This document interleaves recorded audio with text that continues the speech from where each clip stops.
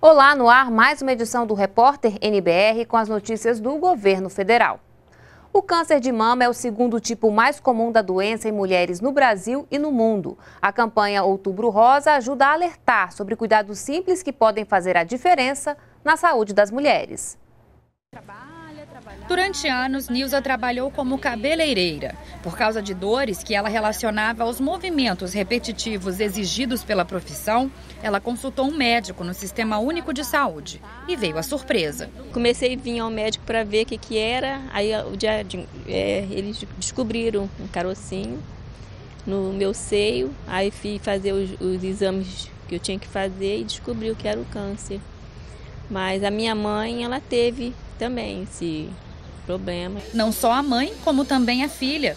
Ter casos de câncer de mama na família aumentam os riscos de desenvolver a doença. Eliane é a terceira geração com câncer de mama. É difícil você receber o diagnóstico de um câncer de mama, mas hoje em dia, graças a Deus, tem a cura, né? O câncer de mama é o segundo tipo mais comum entre as brasileiras. Segundo o INCA, só em 2016 foram 58 mil novos casos e cerca de 14 mortes. Mas algumas atitudes podem ajudar a reduzir esse risco. E o grupo de caminhada Amigas do Peito está aqui para mostrar isso. Organizada por pacientes deste Hospital Federal do Rio de Janeiro, a caminhada é mais uma ação da campanha Outubro Rosa, que alerta sobre a importância do autocuidado com as mamas. O Sistema Único de Saúde oferece tratamento gratuito para pacientes com câncer de mama.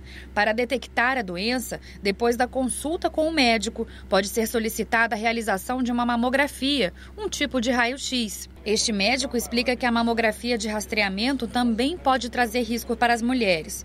Por isso, ele recomenda evitar mamografias de rotina desnecessárias. Ela não é um bom exame para mulheres muito jovens, tem as mamas mais densas, o tecido mamário tecido glandular mamário e a imagem não, não tem a mesma qualidade. Em mulheres mais, mais velhas, então tem resultados errados. Outro motivo é que não existe uma evidência científica de qualidade que realmente isso tem um benefício para a mulher. Então, por isso, nossa recomendação de fazer a partir dos 50 anos, uma vez a cada dois anos. Estar atenta aos sinais do corpo também ajuda no diagnóstico precoce da doença. Esse não é o popular autoexame. O autoexame, que a gente fala no jargão médico, é um exame padronizado tem várias etapas a serem seguidas, periodicidade mensal. Isso já há uns 15 anos não é recomendado esse método, esse ensino do autoexame. Mas isso não quer dizer que a mulher não deva palpar as próprias mamas, se conhecer, conhecer o próprio corpo, que esse a gente chama de uma conscientização. Isso é importante para qualificar a demanda da mulher para o médico. Um ano e meio após a cirurgia para a retirada do câncer, Dona Nilza está curada e cheia de planos. Um deles é seguir conscientizando as mulheres sobre a necessidade de se cuidar. É muito importante. Eu fui muito. Eu não me cuidava, a minha vida era só querer trabalhar, trabalhar, trabalhar, trabalhar e não tinha tempo para mim. E olha, mais uma dica dos especialistas: cerca de 30% dos casos de câncer de mama podem ser evitados com a adoção de hábitos saudáveis, entre eles praticar atividade física, comer bem, manter um peso corporal adequado, evitar o consumo de bebidas alcoólicas e amamentar. Nesta semana, quando foi comemorado o Dia da Micro e Pequena Empresa, o governo federal lançou um novo programa de crédito para o setor. A ideia é orientar e estimular o microempreendedor para que as boas ideias e a disposição para o trabalho possam virar novos negócios. Informação sobre crédito foi o que este grupo de microempreendedores veio buscar nesta unidade do Sebrae em São Paulo. Olhos e ouvidos atentos às explicações do consultor. Eu venho do mundo corporativo, não tenho experiência na, na, na área comercial, principalmente em gestão financeira, em conhecimento de marketing. Então, eu, estou participando de todas as oficinas, inclusive dos cursos uh, também à parte, como gestão financeira, modelo de negócio, plano de negócio, buscando conhecimento para poder, então, é, entrar no meu negócio com a certeza de que eu vou cometer o mínimo de erro possível. A palestra é uma das ações da Semana Nacional do Crédito, realizada em todo o Brasil ao longo deste mês de outubro. Nós buscamos apresentar uma conscientização sobre o crédito, né? principalmente que mostrando que é necessário você ter informações sobre o negócio é, para que você possa ter uma, um direcionamento melhor sobre qual o valor que você precisa, para que, que você vai estar utilizando, né? É, conscientizar sobre a importância de ter um planejamento antes de mais nada, antes de você assinar qualquer tipo de contrato. A Semana Nacional do Crédito é uma das ações do governo federal para incentivar e apoiar o microempreendedorismo no Brasil. E além da orientação técnica do Sebrae, a iniciativa traz uma parceria com sete bancos e instituições financeiras que vão oferecer 9 bilhões de reais em crédito para que os microempreendedores possam ampliar os negócios e equilibrar as contas da empresa.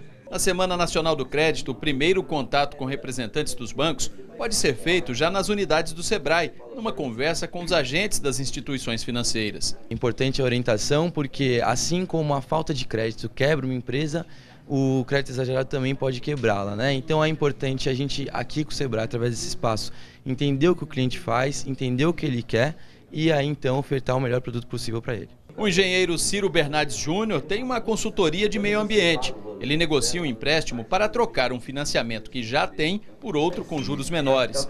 Conversou com o representante do Banco do Brasil e pretende fechar o empréstimo nos próximos dias. Conversei, ouvi e foi bastante produtivo. Eu acho que me deu algumas coisas concretas de como eu posso a caminhada aqui para frente. Tá? Os pequenos negócios representam quase 99% do total de empresas ativas e são responsáveis por 27% do PIB, a soma de todas as riquezas e serviços produzidos pelo país. 70% da renda das pessoas ocupadas no setor privado e aproximadamente 44% da massa salarial das empresas também vem das micro e pequenas empresas. E nos últimos 10 anos, a participação do Simples na arrecadação total dos tributos federais quase que dobrou, avançou de 4,2% para 7,9% das receitas. Todo esse desempenho reforça a importância e a necessidade de oferecer e facilitar o crédito para as micro e pequenas empresas, mas sempre com orientação. Você precisa ter uma, uma ciência sobre qual que é esse valor, o quanto que a empresa ela pode necessitar de, de capital, se ela consegue pagar isso, em quanto tempo que vai estar pagando esse capital, porque é, o interessante, o importante é que a empresa não vá pagar juros desnecessários. O Índice Nacional de Preços ao Consumidor Amplo, IPCA, de setembro, desacelerou para 0,16%. Com o resultado, a inflação oficial acumulou no ano 1,78%, índice bem abaixo dos 5,51% do mesmo período do ano passado. É também o menor acumulado no ano, registrado em um mês de setembro desde 1998. Considerando os últimos 12 meses, o índice ficou em 2,54%, bem abaixo do piso da meta estabelecido pelo governo de 3%. Já a Fundação Getúlio Vargas divulgou o índice que mede a inflação para famílias de baixa renda. Em setembro, houve deflação de 0,25%, percentual abaixo da última apuração feita em julho. E agora há pouco, pelas redes sociais, o presidente Michel Temer comentou que o resultado da inflação é reflexo da política econômica adotada pelo governo. Nós ficamos por aqui. Você pode rever as reportagens no YouTube. E toda a nossa programação também está na página da NBR na internet. Continue com a gente aqui na NBR, a TV do Governo Federal.